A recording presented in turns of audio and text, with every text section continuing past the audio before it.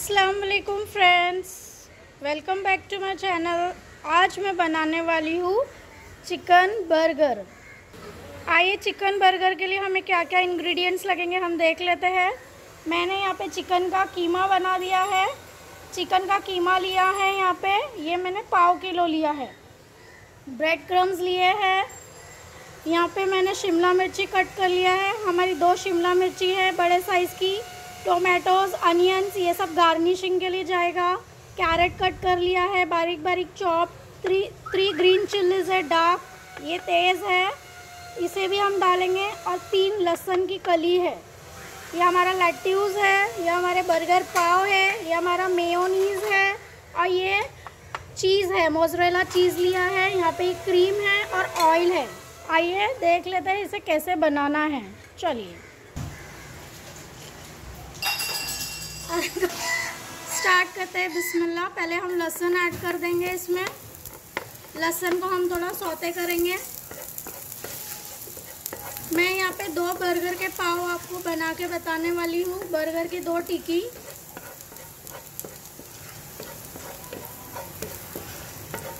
लहसुन थोड़ा सौते हो जाए। उसके बाद हम डाल देंगे हमारे chopped green chillies. Chop green chillies डाल दीजिएगा।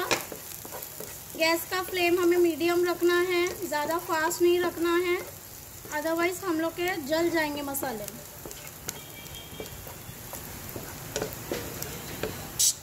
मैं यहाँ पे थोड़ा सॉल्ट ऐड कर दूँगी इसी में, ताकि हमारे मसाले में नमक भी लग जाए। अब मैं इसमें सबसे पहले ऐड करूँगी शिमला मिर्ची, हमारा कैप्सिकम कट किया हुआ। टिक्की मैं आपको दो बताने वाली हूँ, लेकिन ये मैं अपने घर के लिए बना रही हूँ। इसीलिए मैंने इधर सब चीज़ें ज़्यादा ज़्यादा लिया है। अब अपने स्वाद के अनुसार हर चीज़ लीजिए, मैं आपको मेथड बता रही हूँ यहाँ पे। अब मैं यहाँ पे थोड़ा गाजर भी ऐड कर दूँगी। सब साथ ही में हो जाएगा, शिमला मिर्ची, गाजर हमारा। इसे भी सॉटे कर लूँगी। अब मैं इसमें हाफ़ कप वाटर ऐड कर दूँगी। वाटर हमारी सब्ज़ी जो है वो गल जाए, इसलिए मैं थोड़ा इसमें वाटर ऐड करूँगी और अब हम इसकी लीड बंद कर देंगे।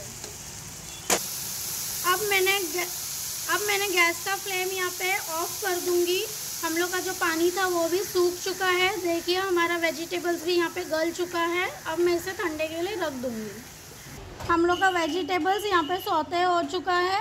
अब मैं यहाँ पे वन टेबल स्पून मेयोनीज़ ले लूँगी। वन टेबल स्पून मेयोनीज़ मैंने यहाँ पे इसलिए लिया है ताकि हमारा चिकन जो है, इसका राज ये है कि हमारा चिकन इससे जूसी बनेगा, हमारे जो बर्गर के वो है कटलेट जो है बर्गर के वो एकदम सॉफ्ट एंड जूसी बनेंगे। आइए हम इसमें थोड़ा सॉल्ट भी ऐड कर देते हैं। अपने हिसाब से सॉल्ट ऐड कीजिएगा टेस्ट के हिसाब से।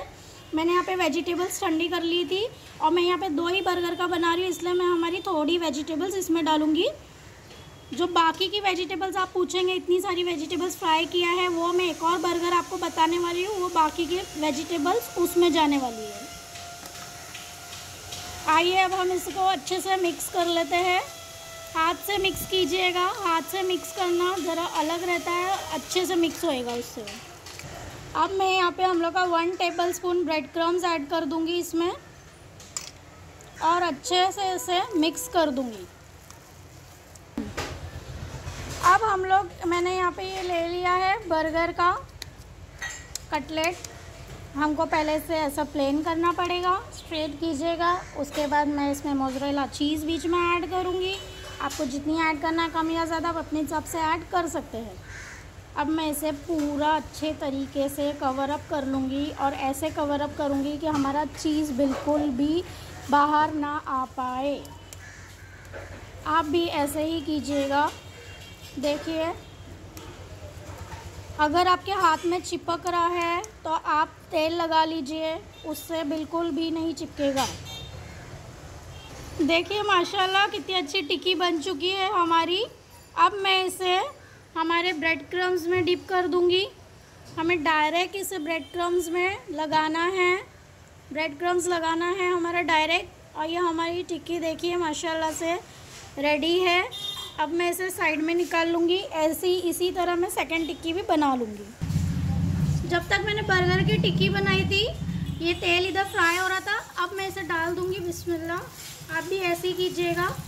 अब जब तक हमारा ये फ्राई होता है, इसे स्लो पे फ्राई कीजिएगा, क्योंकि हमारा चिकन यहाँ पे कच्चा है। एकदम स्लो पे फ्राई करना है। और जब तक ये फ्राई हो रहा है, मैं इधर वाइट सॉस बनाती हूँ। आइए वाइट सॉस की रेसिपी देख लेते हैं। यहाँ पे मैंने इसका three tablespoon three tablespoon mayonnaise लिया है। स्पून देख लीजिए आप। इसका थ्री टेबल स्पून मेयोनीज़ लिया है। अब फोर टेबल स्पून मैं यहाँ पे क्रीम ऐड कर दूँगी। क्रीम आपको मेयोनीज से ज़्यादा लेना है। उससे टेस्ट अच्छा आएगा। हमारे वाइट सॉस का। ये बर्गर के टिक्की में रखना है, लगाना है।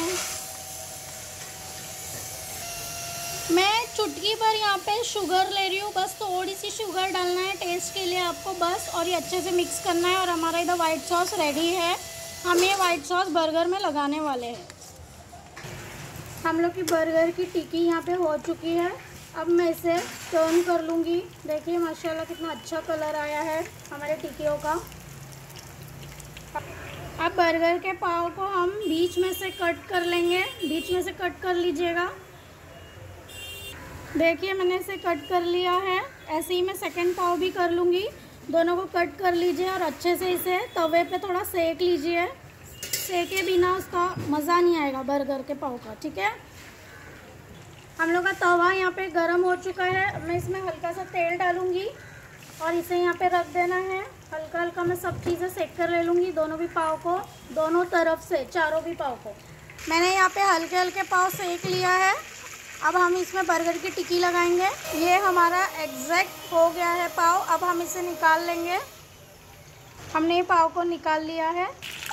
अब मैं ये टिक्की भी हो चुकी है हम लोग की। अब मैं इसे भी निकाल दूँगी दोनों टिक्कियों को बाहर। ठीक है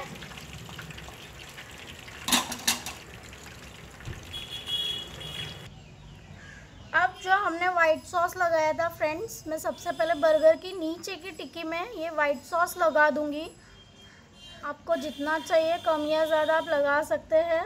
मैं यहाँ पे थोड़ा ज़्यादा लगाऊँगी। उससे टेस्ट हमारा काफ़ी इनशाला अच्छा आएगा। हमने दोनों पाव में क्रीम लगा दिया है। हमारा सॉस लगा दिया है क्रीम मेयोनीज़ का। अब मैं इसमें लेट्यूस का पत्ता ऐड करूँगी। अब मैं इसमें टमाटर ऐड कर दूँगी।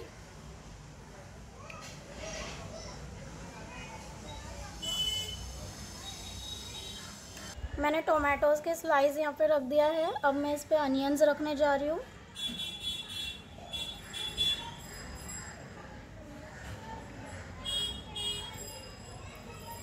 दोनों पे भी हमें रखना है।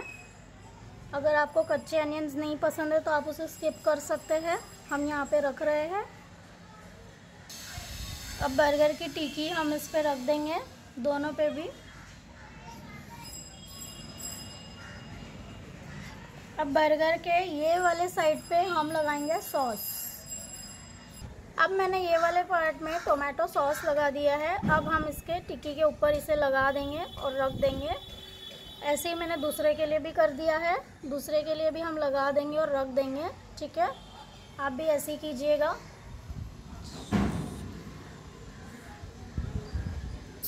देखिए फ्रेंड्स माशाल्लाह हम लोग का बर्गर कितना ज़्यादा अच्छा लग रहा है, कितना खूबसूरत लग रहा है।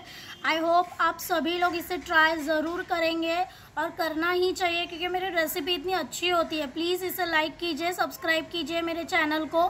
मुझे आगे बढ़ाइए, ठीक है? कल फिर मैं एक नई वीडियो के साथ आऊँगी। जजाक अल्लाह हाफिज़।